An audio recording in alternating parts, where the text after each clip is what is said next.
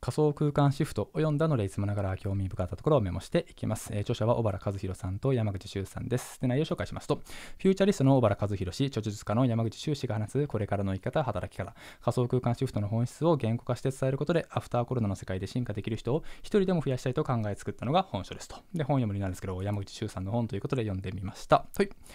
で、えー、新型コロナウイルスで起こった社会の変化があります。えー、それが何かというと、もともといずれはそうなるはずだった未来の姿に少し早く強制的に進化させられたということですね。えー、我々が仕事をしたり生活したりする空間が物理空間から仮想空間へとシフトしています。まあ、いずれね、仮想空間へとシフトをしていくはずだった。でも、えー、これがね、コロナウイルスの影響でですね、早く強制的に仮想空間へとシフトさせられたんですね。で、まあ、例えばですね、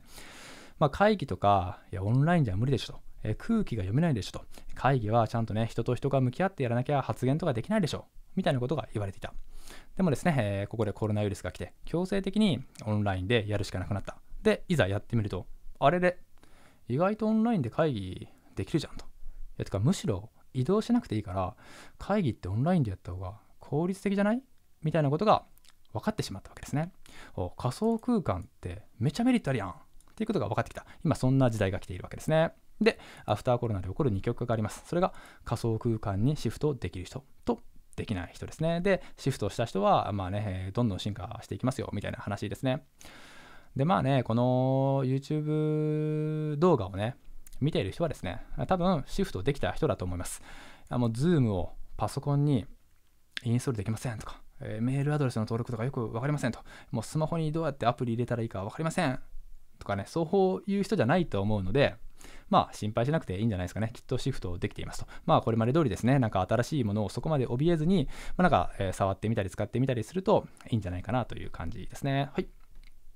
で、え、この本であ面白いなと思ったのが、その Z 世代の価値観がスタンダードになっていくということなんですね。まあ、これどういうことかというと、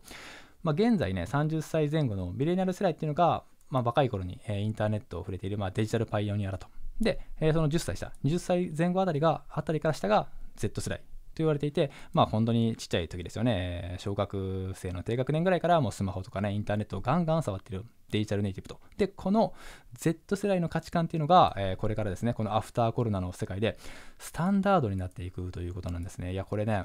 面白いし、本当にそうだなと思うんですけど、まあ、例えば僕はこの30歳前後のミレニアル世代なんですね。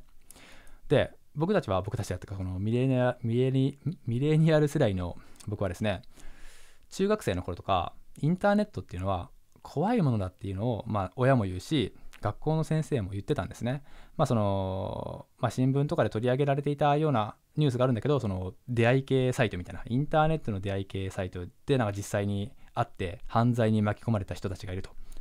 まあ、いうこととかで、やっぱ怖いと、インターネットで危ないと、まあ、そんなとこに書き込んじゃダメだと、えーね、インターネットで知り合うような人と出会っちゃダメだと、絶対ダメだぞっていうことが言われていたわけなんですよね。でも、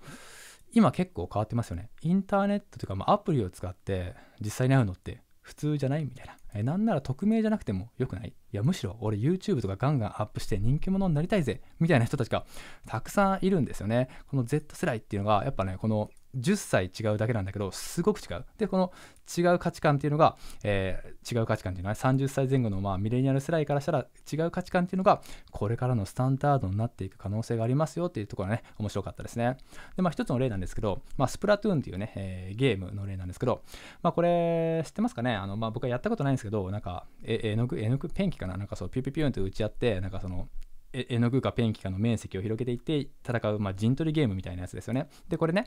4対4で戦うチーム戦なんですよ。で、えインターネットを通じてですね、実力の近い者同士がマッチングしていく設計になっておって、で、まあ、5分ぐらいで勝負が終わったら、えー、試合が終わったら、次またね、えー、新しいメンバーになって戦っていくというね、まあそういう設計なんですね。で、スプラトゥーンでは、相手に勝つというプロジェクトの中で、ちゃんとみんなに役割が生まれるように設計されていると。えー、この4人のチームで、えお前はなんか、なんだ、え攻撃するのが得意だから攻めるとか、えちょっと攻撃するの苦手だけど、守るの得意だから守るみたいなね、まあそういうね、役割が、設計、生まれるように設計されているらしいんですよ。で、そうやってね、え勝ったり負けたりを繰り返していく中で、4人の中で自分がリーダーポジションなのか、フォロワーポジションなのかっていうのを見極められるようになっていくと。いや、これがね、面白いなと思ったんですね。まあ、その、ミレニアル世代の僕としてはですね、まあ、僕なんかは、まあ、例えばゲームやるって言ったら64とかだったわけですよ。で、64がある。64の本体がある友達の家にみんなが64のコントローラー持って行って1つずつ持って行って、えー、4つ挿してそこで大乱闘スマッシュブラザーズをするとか、まあ、そういう感じで遊んでいたわけですけど、まあ、これってもう固定的ですよね。メンバー固定だったんですよ。気心が知れた仲間たち友達同士でしかゲームやってないからこのリーダーポジションとかフォロワーポジションっていうのが変わんなかったわけですよね。でも Z 世代は違うと。もう5分ごとに新しいメンバーと、え、チームを組んで戦っていくと。でこのチームを勝利に導くためには俺はこういう役割なんだとかあいつはリーダーなんだ、えー、俺はフォロワーに回ろうとか、まあ、そんなことを5分の戦いの中ですぐ察知して、えー、まあ、チームに協力していく。チームに貢献していくって発想になっていくんですよね。それはすごいと。そんな能力を、えー、Z 世代の人たちは小学生の頃から鍛えていってるのかと。いやこれはねすごいことですよ。すごいこと。で、えー、スプラトゥーンのようなゲームをやったことない世代だと、えー、見ず知らずの人とチームを組んで勝利していくをどんどん繰り返すといったようなことに抵抗があると。いや、ありますよ。やったことないから、いざなんかゲーム始めて、勝手に4人のチームになんか入れられて、ここでなんか協力して戦っていけって言われたら、えー、どうしたらいいんだろうってね、ちょっとやっぱ迷っちゃいますよね。でね、このいろんなチーム、新しい人たちとチームを作って勝利していく、なんか目的を目指していくっていうのが、これから求められる能力なんですね。で、まあ、これはね、本当に働き方の本を読んでいれば、まあ、大体書いてあるんですけど、これからの働き方っていうのは、会社の中で同じ人同士で仕事をするんじゃなくて、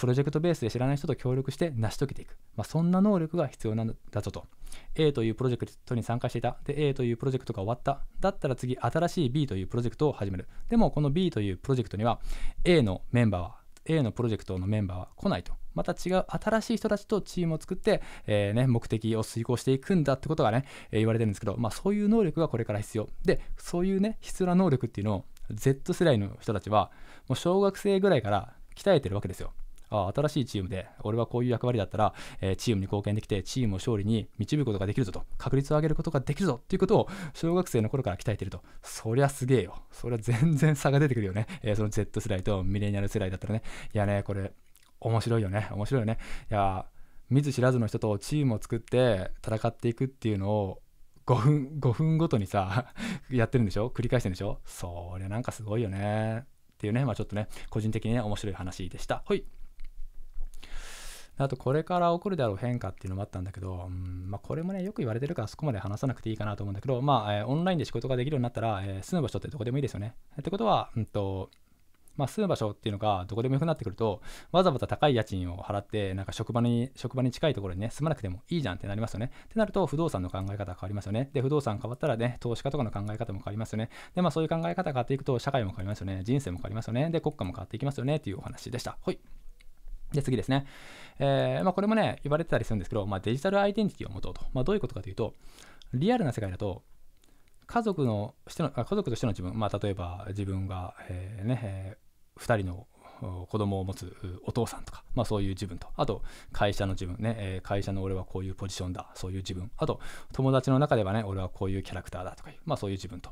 ということで、そこまで数持てないんですよね。まあ、大体3つぐらいな、3つぐらいのアイデンティティしかね、リアルな世界だと持てないんだけど、でも仮想世界だと自由に多くのアイデンティティを持てると。例えば A のプロジェクトでは、え、リーダーだけど、B のプロジェクトだったらエンジニアとか、まあ、そういう自分が持てると。あとは、え、全然仕事と関係なく、え、こういうゲームが得意な人とか、えーね、こんな料理に詳しい人とか、まあ、いろんなアイデンティティを持てるんですね。で、こういう感じに複数のアイデンティティを持つってことは、え、人生の意味や目的につながるので、え、精神衛生上的に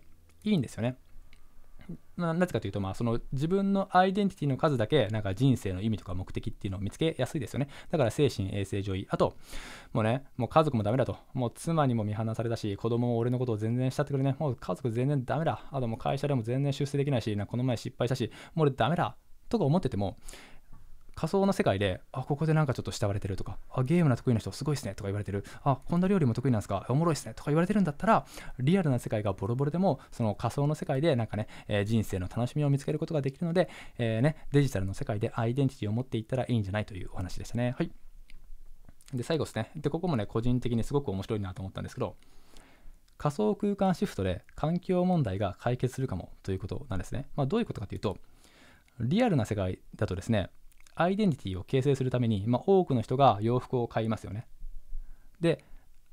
アパレル産業っていうのはすごく環境の負荷が大きいわけなんですよ。まあ、7割は売れ残って、まあ、廃棄処分とかする世界ですから。で、えー、プラスチックについて世界、えー、2番目の環境破壊産業とか言われてる、まあ、産業がアパレル産業なんですね。まあ、ちょっとひどい言い方ですね。でね、これが仮想空間へシフトすることによって、このアパレル産業のデメリットっていうのが減る可能性があるんですね。まあ、どういうことかというと、デジタルアイデンティティっていうのが普及すればですね、その仮想空間シフトの自分、まあ、つまりそれはアバターでいいわけですね。自分の顔とか映さなくてよくて、自分のか顔というか自分のアイデンティティのキャラクターみたいなものを作る、まあ、アバターですね。アバターを作ればいい。で、そのアバターにアイデンティティを持たされたために、デジタルアイテムを買っていけばいいわけですね。ってなると環境負荷っていうのは少なくなりますよね。今まではなんかどこぞのブランドの何かを買っていたのが、まあ、どこぞのブランドかもしれないけど、それが廃棄処分とかない世界、まあ、データだからね、データだから、その環境負荷がすごく少ない、少ないけれども、デジタルの世界でアイデンティティを持つことができるということなんですね。で、これからはハイブランドと呼ばれるようなところが、えー、バーチャルアイテムを販売するようになるでしょうということで、これ非常に面白いですよね。でも面白いけども、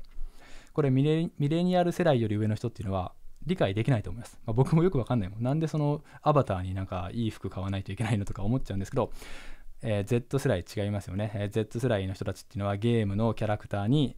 なんかおしゃれさせてますよね。まあそのフォートナイトとかってそうですよね。フォートナイトっていうゲームは基本のプレイが無料。でもそのアバターになんか、なんて言うんだろう、なんかおしゃれな服を着せたり、なんか変なアイテムを、変なって言ったらダメだな、なんかアイテムを買ったりする、その課金で運営が成り立ってるわけですよね。で、運営が成り立つぐらいのたくさんのお金が、まあ、使われているということで、いや面白いですよね。このデジタルアイテムを買う Z スライっていうのはね。いや、本当ね、僕この辺がやっぱ、ちょっと理解できないんですよ。あ本当まあミレニアル世代な人間なんだなと思うんですけど、価値観がね、違いますよね。で、これからその Z 世代の価値観っていうのが